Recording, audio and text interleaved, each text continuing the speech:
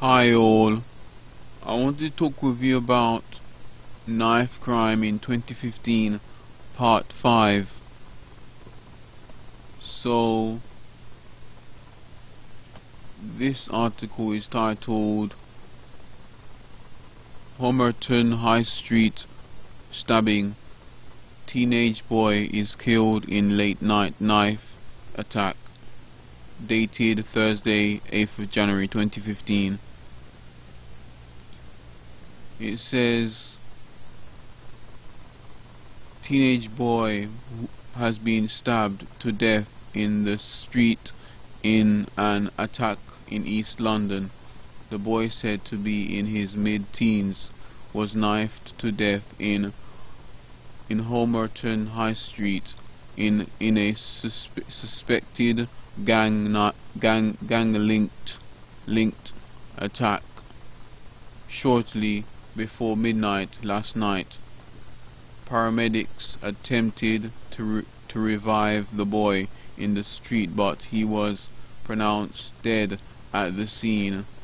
The teenager is the seventh person to be bur to seventh person the teenager is a, is the seventh person to be murdered in London in the first week of 2015 and the first teenager to be murdered in the capital this year.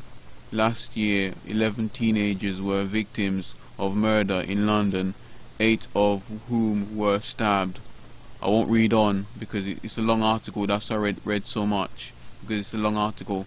If you want to find out where it is, just type it on, on the search engines, like a title like the, this title, Homerton High Street stabbing, teenage boy is killed in late night knife knife attack. So, so just type that on on on on a search engine, and then you will you will hopefully find it. So about this one, it's just the same again, really. Just just prayer, and just if you think if if we think I think it's if we think that you know prayer won't solve nothing at all some people might believe that prayer that prayer won't solve anything. Just need just just need tougher sentences. I, I would say you can't do one without the other. You, you have to have both pray prayer and and higher sentences like life sentence. But like I've said before in my previous videos I don't encourage I don't encourage death penalty at all.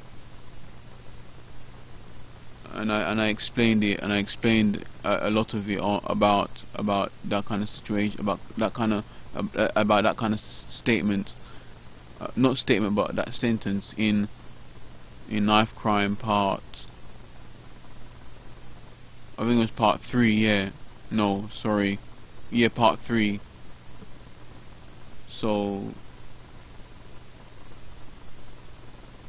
I think a lot a lot of organizations are, uh, are trying to to to encourage encourage the youth to do something else rather than stay in gangs and have nothing to do with themselves.